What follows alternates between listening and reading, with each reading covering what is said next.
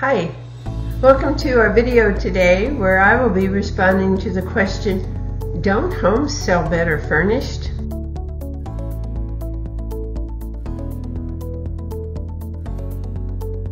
Yes, we often hear that question, but the answer is it depends. It depends on the house, the person or people living in the home, the market. All of these are factors that impact this. But I want to speak specifically to those you who have lived in your homes perhaps two or three decades or less, but still collected a lot of stuff, and now you are preparing to downsize. You know, there are really three good reasons to consider moving first and then putting your home on the market. The first has to do with safety and privacy.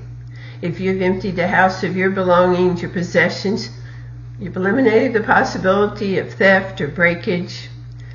When your home is on the market, your life is on display. Even as realtors, we monitor people going through your home, but nevertheless, your life is on display. The second reason has to do with stress and overwhelm. By going ahead and moving, you can work at your own pace. You're not trying to sort through and get things ready for your move while your house is being shown. That puts undue stress on you. Go ahead and move, empty the house, and then put it on the market. Third consideration has to do with distractions. You know, there are things in our household that distract buyers from seeing the potential of the home. They see family pictures. They think about the family living in the home now rather than when the home will be their home. Second has to do with memorabilia, diplomas, certificates Buyers can be curious and focus on that rather than the size of the room and the closet. Collections. For example, if you have roosters on display throughout your house, your house could become known as the rooster house rather than the house with the renovated kitchen. We want people to see the house as potential for their home. So in closing, I just want to debunk this myth that furnished homes sell better.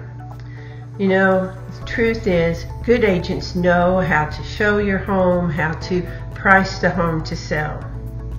Great agents look at this as one part of the process. It's not just focusing on the sale of your home. When you are involved in a late life move, you have a lot to put together besides just the selling of your home. So agents who focus on this know how to put a whole package together for you to reduce the stress and overwhelm to you. That's what we do here at Seniors Living Smarter. Give us a call to get more information about when you are considering a downsizing move.